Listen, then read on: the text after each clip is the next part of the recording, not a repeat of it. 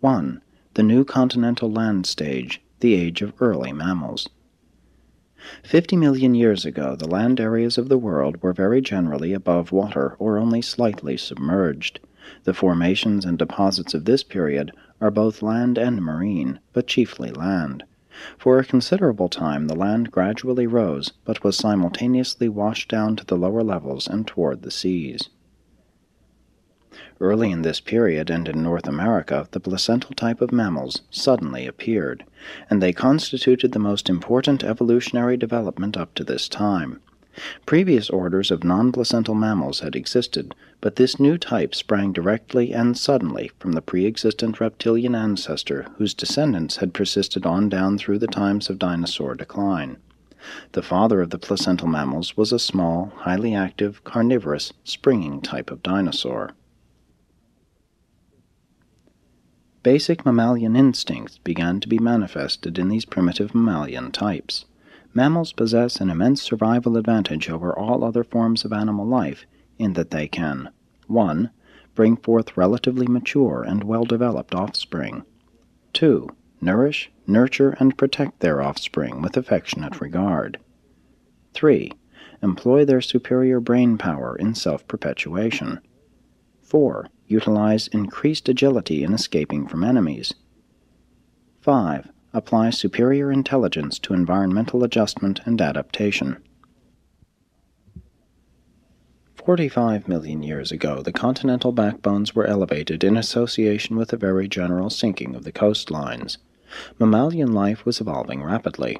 A small reptilian egg-laying type of mammal flourished, and the ancestors of the later kangaroos roamed Australia. Soon there were small horses, fleet-footed rhinoceroses, tapirs with proboscises, primitive pigs, squirrels, lemurs, possums, and several types of monkey-like animals. They were all small, primitive, and best suited to living among the forests of the mountain regions. A large ostrich-like land bird developed to a height of ten feet and laid an egg nine by thirteen inches. These were the ancestors of the later gigantic passenger birds that were so highly intelligent and that one time transported human beings through the air. The mammals of the early Cenozoic lived on land, under the water, in the air, and among the tree tops. They had from one to eleven pairs of mammary glands, and all were covered with considerable hair.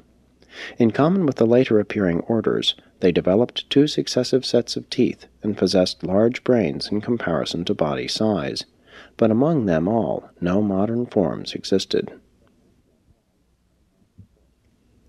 Forty million years ago the land areas of the northern hemisphere began to elevate, and this was followed by new extensive land deposits and other terrestrial activities, including lava flows, warping, lake formation, and erosion. During the latter part of this epoch most of Europe was submerged. Following a slight land rise, the continent was covered by lakes and bays. The Arctic Ocean, through the Ural Depression, ran south to connect with the Mediterranean Sea as it was then expanded northward, the highlands of the Alps, Carpathians, Apennines, and Pyrenees being up above the water as islands of the sea. The Isthmus of Panama was up, the Atlantic and Pacific Oceans were separated. North America was connected with Asia by the Bering Strait land bridge, and with Europe by way of Greenland and Iceland. The earth's circuit of land in northern latitudes was broken only by the Ural Straits, which connected the Arctic seas with the enlarged Mediterranean. Considerable foraminiferal limestone was deposited in European waters. Today this same stone is elevated to a height of 10,000 feet in the Alps, 16,000 feet in the Himalayas, and 20,000 feet in Tibet. The chalk deposits of this period are found along the coasts of Africa and Australia, on the west coast of South America, and about the West Indies.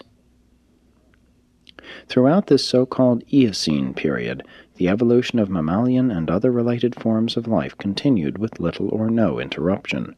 North America was then connected by land with every other continent except Australia, and the world was gradually overrun by primitive mammalian fauna of various types.